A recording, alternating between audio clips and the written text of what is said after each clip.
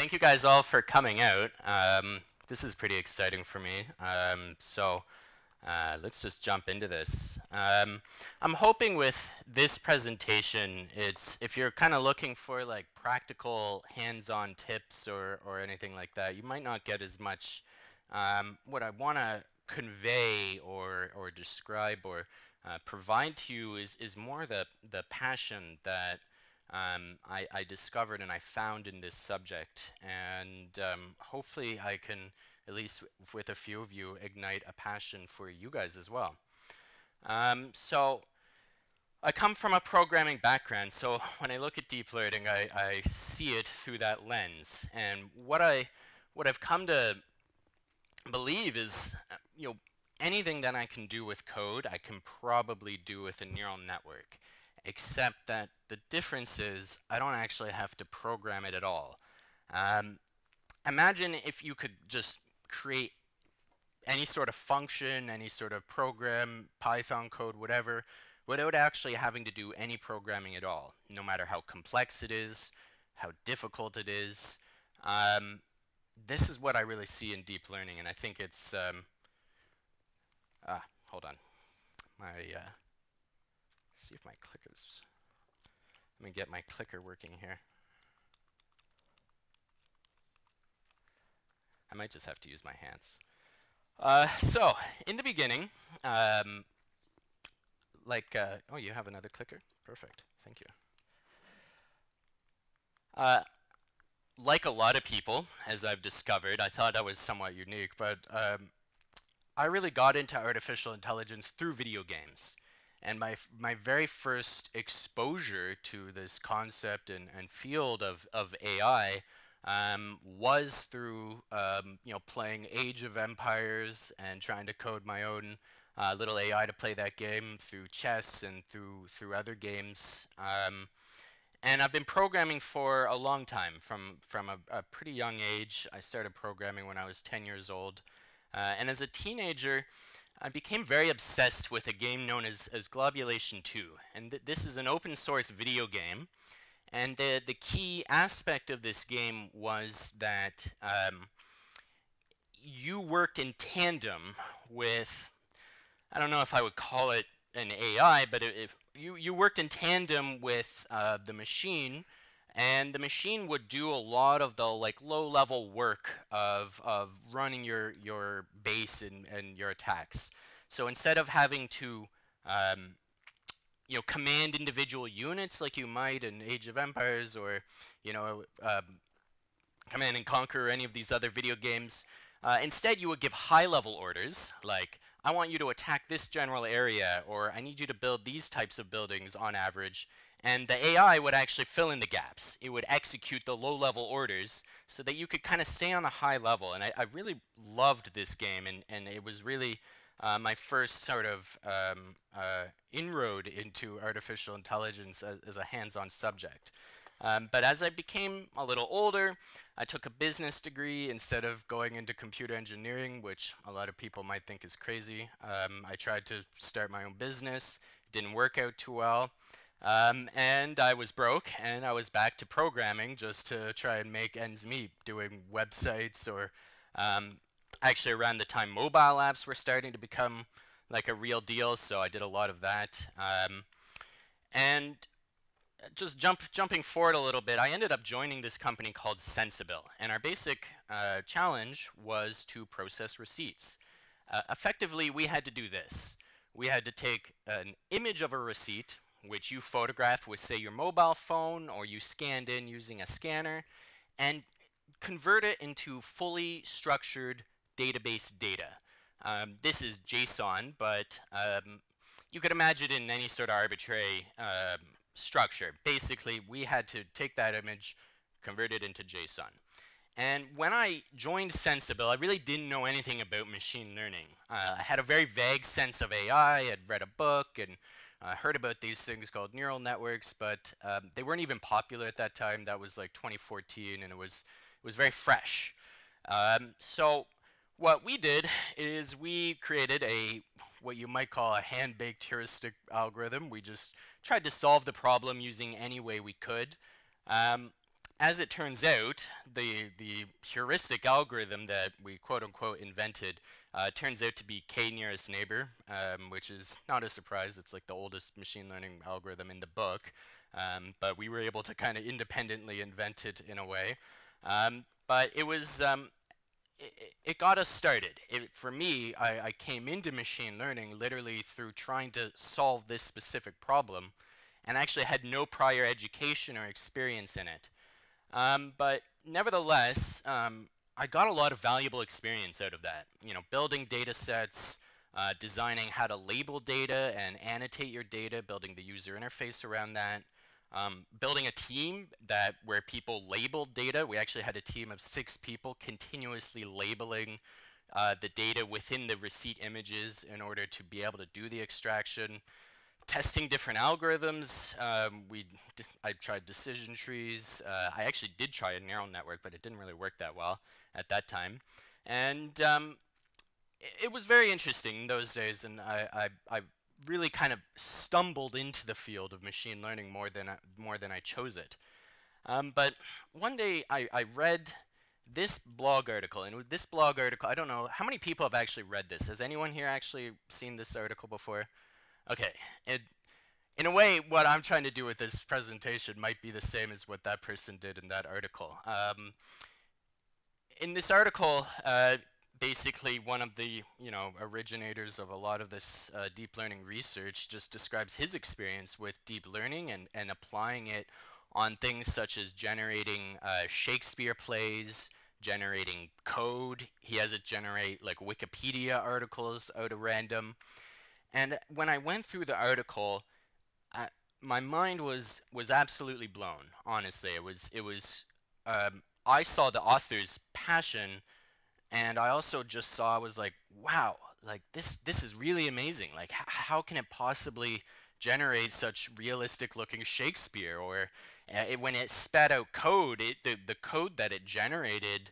Um, well, if you actually read it, it clearly wouldn't execute. But you know, at first glance, it looked like real code and it was it was honestly pretty amazing to me to to see that you could do this and that neural networks were so powerful. It was it was like i had been missing out on something that i had learned so much about engineering and about software about um, everything from user interfaces back end front end um, you know uh, apis but I, I had never seen this before. And so at Sensibill we upgrade we upgrade to deep learning. Uh, we start using LSTMs instead of our hand-baked k-nearest neighbor algorithm. And it completely changed the game for us. It basically made the company because prior to that, we were getting, you know, accuracy levels end-to-end -end of like 60, 70%.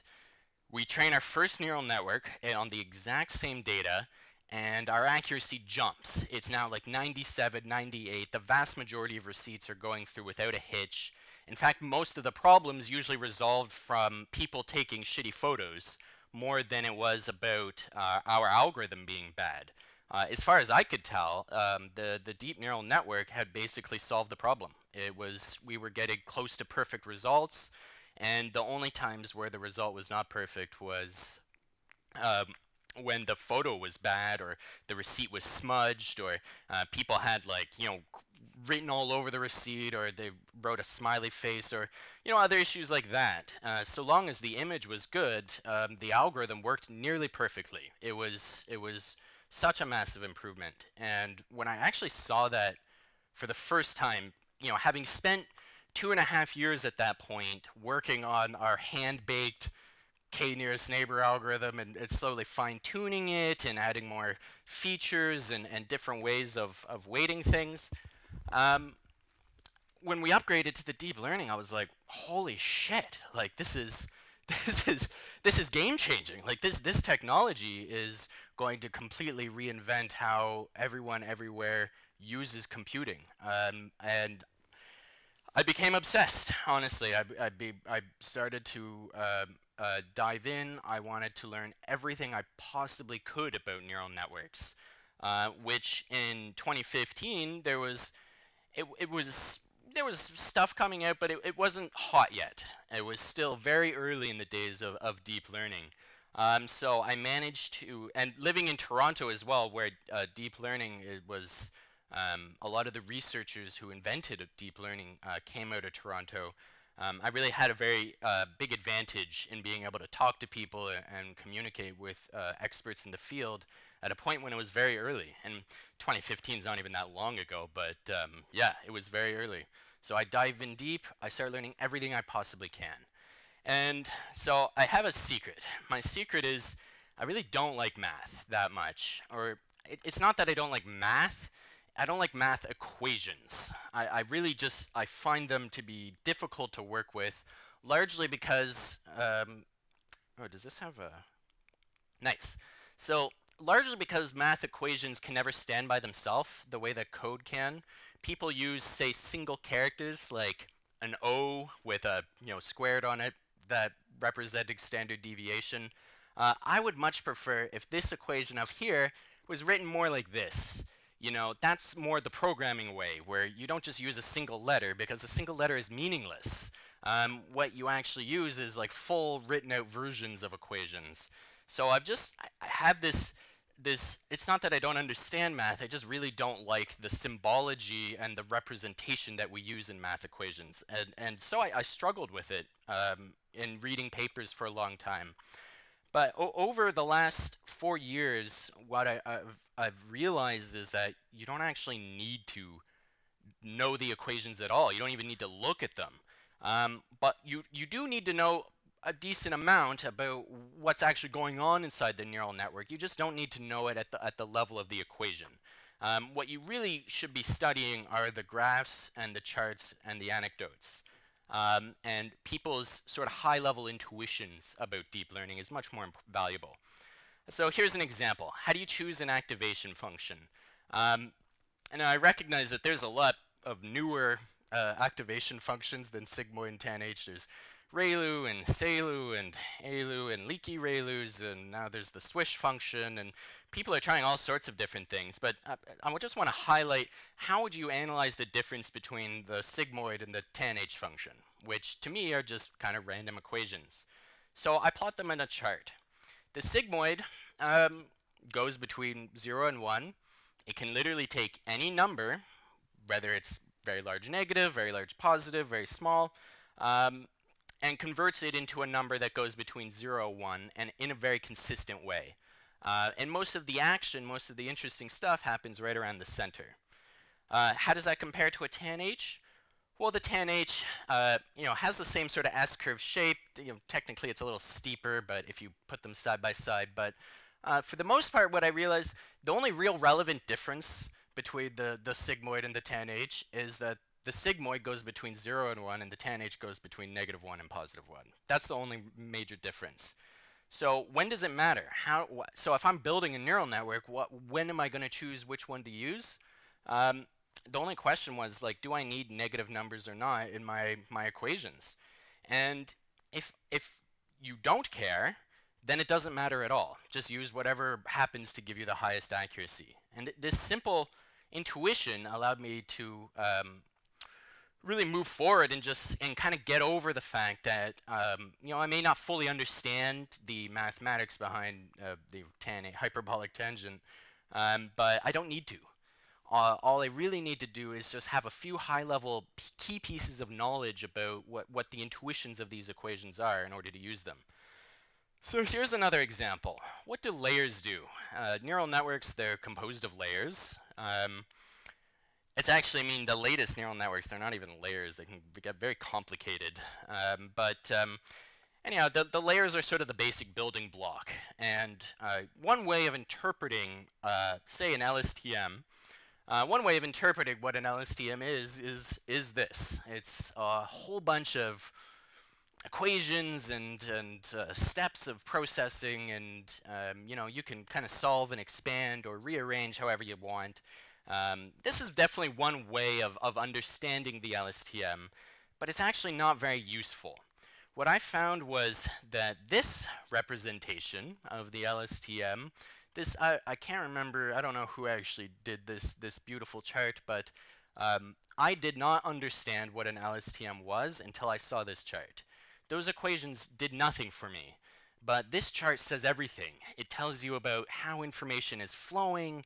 It tells you, um, you know, what are the math operations that are involved here, and, and it allows you to get a good intuition about what are the different units of an LSTM.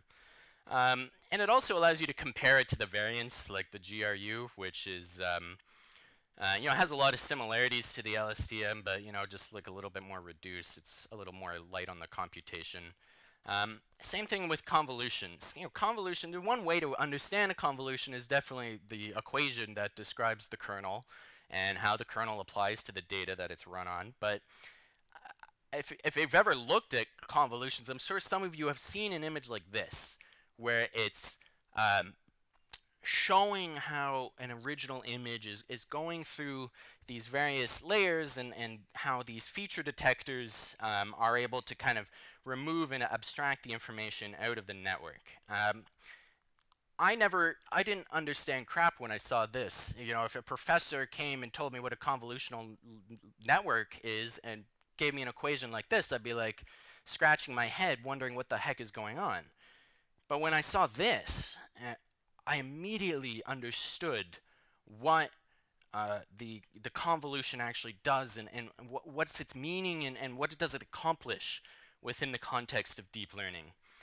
Um, so, you know, understanding the layers. La layers can be understood as math equations. Um, they can even be understood as code is another way of interpreting it. But, but why bother going to that level? Um, what I realize is, is this is much like understanding a CPU or the GPU now. You don't need to understand how the data or the electricity flows within a CPU in order to write code. In fact, I still don't. Um, you know, I tried to do VHDL one day and I was just in Verilog and it just, that's a totally different world. Like creating chips and hardware, that's such a more difficult problem. Um, but I didn't need, I, you don't need to know how, how Intel does their magic in order to write code that can run on an Intel chip. And deep learning, I think, is the same way. Like, yes, you can understand it at the, the lowest possible level, which is, uh, you know, what are the asymptotes in these equations and, you know, what are their free points and, and whatnot. But it's actually much easier to just, just try to analyze it at a higher level and see these as, as building blocks that you can put into your system. Um, so I, I, developed over time a bit of a high-level intuition, and, and some people's intuitions about what these layers do, they may be very different. Um, you know, a dense layer, it, it's basically like a processing unit. It will change, rearrange, or compute data in some way. What does a convolution do? It, it's a pattern matching. It has some fixed number of patterns that it can learn to recognize, and it will recognize them across whatever data you input. Uh, recurrent, it's uh, um, Actually, I say here is it processes data of an arbitrary size. That's true of the convolution and attention systems as well. But um, I find it, it's just best to understand it's more like a sequence processing unit, where as a dense layer processes one item, the LSTM processes a sequence of items. And that's all I really needed to know to be able to use and apply the LSTM in, in the real world. Uh, attention layers, they, they, suppress irrelevant information. Um, and dropouts, they spread knowledge across a vector. Batch norm, all you really need to know is it speeds up learning. Like, yeah, you can get deep and understand moments and gradients, and over time I've, I've, I've come to understand um, at a much lower level what, what these units are doing and, and how the equations work, but I didn't actually need that in order to start diving in and understanding deep learning. Um, ooh, what? Ah, there we go.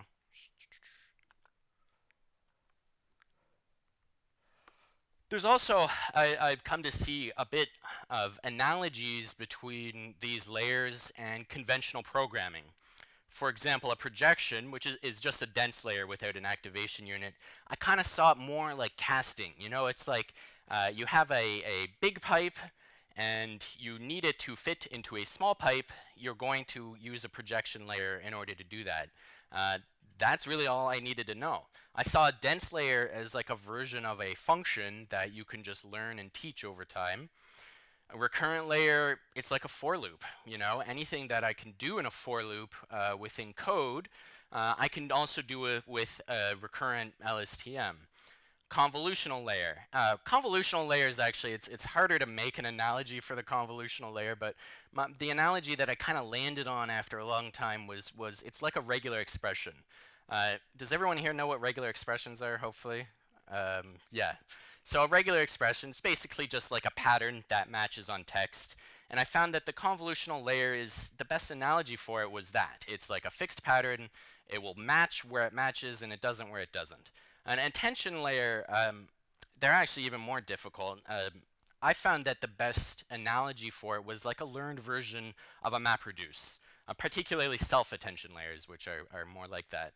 Um, so over time, I, I, was able to gain these intuitions and, and these understandings of, okay, wh what are different, what are these layers doing, how do they interact, and, and you know, how can I think about them in a way that allows me to solve new problems.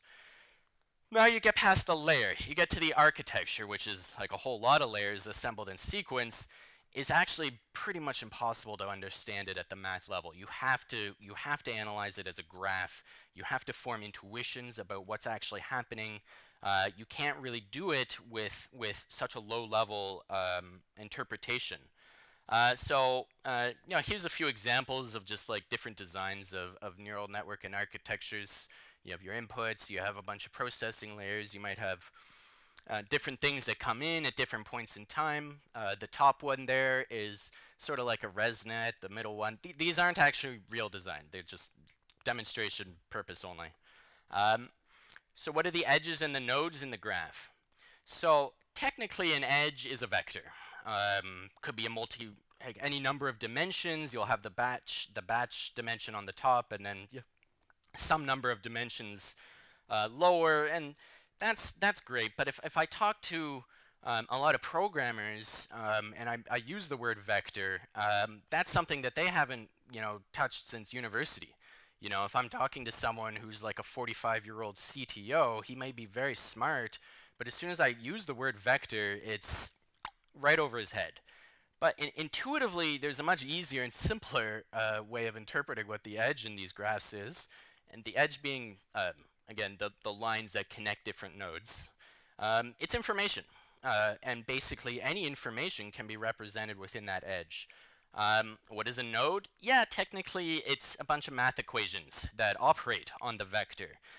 But intuitively, I, I, I, found that the node is just better to be understood as, as a unit which processes information.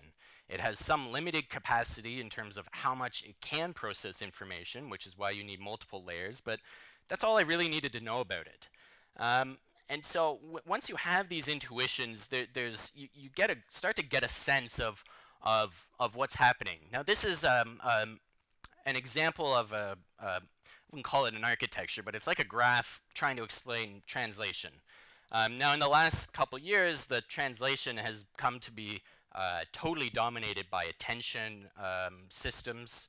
Um, but when I first created this presentation, the cutting edge was to have this sort of encoder-decoder approach where you encode the, the input sequence in some language and um, you decode it in some other language. And so what does having this intuition about edges and nodes allows me to do? Well, imagine this point right here. What is the information that flows between the, the input section and the output section? Intuitively, if, if this neural network is to be able to work at all, this little edge right here, this little blue line, must contain, it necessarily must contain all information about the input sentence. Um, it, ha it, has to describe the sentence because that, that's the only way that information can get from the, the encoders to the decoders. Uh, so in intuitively, once we realize, okay, the, all of the information about that sentence in some sort of representation has to travel through that edge, um, well, you can do kind of interesting things. And, and what people do is they uh, take the, the data and they uh, run it through, and they, they take that, that vector out from the middle of the neural network, and you can plot it, and, and, and what you find is that sentences that have similar meanings tend to have very similar vectors. This is probably not a surprise for any of you, especially if, if you've ever heard of word vectors but you can have sentence vectors now. There's research on document vectors, or vector for anything. So what was the intuition I was able to get? Any information can be represented in a vector. It doesn't matter what it is or how abstract it is or how difficult or complicated it is. You know, we, we have all of these data structures uh, in, in databases, you know, lists and arrays and objects and many, many different columns. Um, but literally, no matter how complicated the information is, um, the intuition that I was able to get was um, it can always be represented in a vector. There's always some way that information in the abstract can be represented. Um, the inception network, another one. Uh, so in the inception network, the kind of interesting thing, of course, is it has a lot of repeating units, and the repeating units kind of have this, this shape. Um, so uh, again, yeah, you, you could understand, really dive deep, and you know, there's some math proof that says like when you sequence these convolutions in this specific way, you get slight, it's like mathematically equivalent to a, a simpler formula, but um, uh, but um, slightly faster in compute power. But basically, the intuition that I got when I when I first learned about the inception network is that sometimes it's useful to process the same vector in multiple ways. Um, you might want to pass it through different types of layers and then merge them again together. And that was the only thing I needed to learn from the inception network. Residual networks. Um, love residual networks. They're, they're great. They're a big improvement. Um, what was the intuition I was able to get from ResNet? Uh, basically, um, neural networks sort of work like gossip. Um, if you've ever um, experienced gossip, it's you know someone you someone says something about you, and then you know they tell it to their friend, they tell it to their friend, they tell it to their friend, and by the time you find out, it's like, oh, you cheated on your girlfriend. You'd be like, what? Like, yo, I had to you know glance a person in a bar once. Like that's, but that's gossip. You know, the information to- gradually gets destroyed the more layers it goes through. And that's, so if you add paths around, um, the information doesn't get destroyed and it gets preserved and the gossip doesn't, doesn't end up um, killing it. Um, another way of understanding it was like the game telephone. I don't know if, uh, you know, when people as like you get a bunch of like eight year old kids in a room and like one person whispers into the ear of the other person who whispers into the ear of the other kid who whispers into the ear of the other kid and you find that you know you might have started with something great like we love reading and by the end as it gets around the circle of eight-year-old children the final kid speaks out loud and it's like i hate the teacher or, you know some other you know nonsense that had no nothing to do with with it so you know the intuition that we were able to get from ResNets yeah you could understand it as an equation and you know you have the the addition at the end and normalization but really it was just that like the information degrades as it goes through a neural network. If the neural network's just too large, the information's so degraded, but by the end, the network can't learn. Um, so, you know, as you start to experiment and play and, do a lot of models, you, you, start to get very comfortable with what works, what doesn't. You might be able to start creating your own designs. Um, the, but the big challenge is there's there's this there's so many ways you can build a neural network. Like so so many ways. It is uh, actually amazing um, just just how much um, uh, experimentation is actually required to get to something that works. A lot of um, my work is trial and error. It's just test it out, run it on my data, measure the accuracy, and try again. Come up with new ideas. You know, uh, ideally, if you can get into sort of a, I'm going to trigger my model at 5 p.m., come in at 8 a.m. in the morning, look at the results, try and set up something new, if you can get into that overnight loop, it, it works really well. Um, but it, it's not like programming. Um, programming and, and having that software engineer background, um, I, I, came from this, this, this mentality that code either works or it doesn't. It's like you, you write a bunch of unit tests, the unit tests pass or the unit tests fail. Like it's, it's very binary. Deep, deep learning and actually machine learning in general, it's, it's not specific to deep learning, it always works, at least a little bit. The, the neural network can, um, my friend said it best, and, and Julian's actually the guy who got me into deep learning.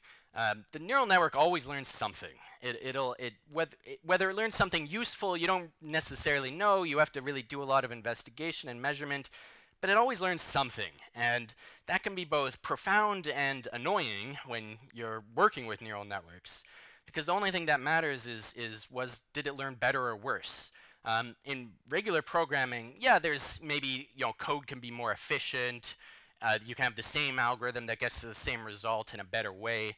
But for the most part, when when we're analyzing code, again, it, it either works or it doesn't. Whereas with deep learning, it, it always works at least a little bit. It's just, is there another way you could do it that, that works better? Uh, so here's an example that came up in my work at Electric Brain. We had this client that wanted to automatically um, analyze project plans and decide what laws and regulations might apply to that project plan. Uh, this is a company called Blueprint. Uh, they create a tool like Jira or like, you know, it's like um, uh, like a sprint management program. Um, so if you can imagine, like our input is text, basically, of a project plan, and our output is some number of laws or regulations that actually apply to that text. Um, there's so many ways you can do this. So like the most vanilla way is just send that text through a bunch of uh, recurrent layers and, and at the end just output that sort of binary indicator for each of the you know 200 or 300 laws that, that we, it was actually 600 laws that we cared about at the time. And that's okay, you know, there's a number of hyperparameters and um, it's pretty simple. But you also have, you know, fancier approaches where you're not doing it one sentence at a time. Uh, I've become really fascinated with these uh, memory networks, which uh, they have like an external storage, and uh, there's like an intention mechanism that allows them to store and retrieve data. Um, they really fascinate me, and I, I, just love, but they require a lot of GPU power to train. Uh, so anyhow, that's a, that's another approach. The, another approach is um, don't do it sentence by sentence, but just do the entire project plan and use these memory networks as a way to um, preserve the long-term memory. Uh, you have way more hyperparameters. Um, you know, a lot more challenge there. Uh, but again, it, it's, it's valid. It's potentially a good design. Uh, then there's a third way. The third way was actually to, to treat both the project plan as text and the regulation as text and feed both of them through LSTMs and, and have some sort of Siamese construction where um, they would actually um, you you could reduce both the the regulation and the the project plan to vectors and then you know Euclidean distance on those vectors would would tell you just how relevant that project plan is is to that um, that regulation. Um, again yeah lots of hyperparameters and um, you know there's uh, there's not a clear way to tell which which is the best approach at least not on face value. Um, there's far too many techniques basically to test. So the, the fun, um, the joy for me of designing uh, deep neural networks and, and, what has made me more and more passionate about it over time is, is that it, it, it's like a dark art. And frankly, I, I, I, really, Google's got a huge office in Toronto, and, and I really wish I worked there because sometimes when you read a paper that Google has released, and they're like, we trained using 2,000 GPUs for three months on this model, and I'm like, that's a great model, but that was a $100,000 experiment. Like, they, that, that one experiment costed $100,000 of compute power. It's like, only Google could do that. And of course, it would be just amazing to and fabulous to be a researcher at Google, but um, you, you don't really get that. Um, and you have to, over time, get an intuition on, on what's likely to work. Uh, you can't just copy a result from you know, the latest NIPS paper uh, and just apply it on your problem. Um, you have to get a sense of you know, what neural network is likely to work with my data, um, you know, how big is my data set, and th those things um, they take time. You know that that doesn't require. You don't get that when you when you study at a university working on academic problems or you know MNIST data set. Um, you know you, you don't really learn uh, how to choose or design neural networks. All, all you really get is what's possible. Uh, but the art of, of what's good, you have to you have to dig in yourself. And the joy for me is it has been that process of of learning what works in deep learning and what doesn't work. Um, we don't have a clue how neural networks work. Like, there, okay, there'll be some people in the field who do say that they they understand and that they get it. Oh, it's backpropagation, man. Like that's the neural network, of course, backpropagation. Like, and you know, it's half random chaos that emerges to order. And yeah, okay, I, I, I like that. But actually, it's it's not really it's not a complete understanding. Um, I think what it, it's it's not hard to understand why neural networks are capable of learning. What what's difficult to understand is why do they actually work so well? Um, you know, why can I take you know a one layered neural network and a five layered neural network and they get almost exactly the same accuracy? Like well, why? Like th those are very different. You know, how can I take a, a one convolutional network and a recurrent network? I can both apply both of them on the same data and they both do happen to work. You know, one's maybe one or two percent better. Um, why? Why? Why? Did, why is why is you, are you capable of using these things which are totally different mathematically? They have completely different representations, a recurrent network versus a convolutional network, but yet they can they can both work to almost exactly the same accuracy or, or very close when applied on the same problem. Um, yeah, there's there's a science in deep learning, but but there's also an art and and that art has is is what I love. I, I love getting that intuition. I love diving deep, you know, testing different hyperparameters and different architectures and just observing hands-on what actually works. And so if I recommend to you, if you're interested in, and and and like deep learning and and and want to explore the field, um, just dive in.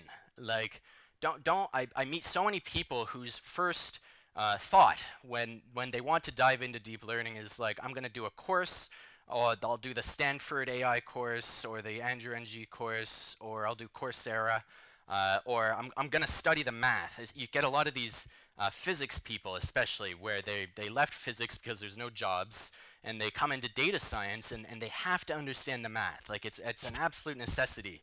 And I'm like, I, I just don't think that that's actually going to help you become good at deep learning. Um, the math will help you understand what the neural network does, but it, it, it, gives you the science, but it doesn't give you the art. Uh, so my, my conclusion, uh, anyone with a technical background can do deep learning. If you've done software engineering, go onto the TensorFlow website and start pounding out some tutorials. It's not hard. Uh, you don't need to dive deep into the math. You don't really need to understand like Hessian, whatever, whatever gradients or. Um, uh, but what you do need to understand and what you do need to learn is is much harder. It, it's it's the intuition about what's likely to work, what's not likely to work, what should I test first and what should I test next. Uh, how do I maximize the accuracy? How do I regularize? Uh, those are not always easy questions to answer, and, and that intuition for me is is a lot more fun and, and, and interesting um, than the kind of deep low level details of deep learning. Um, so thank you and um, uh, enjoy the rest of the conference.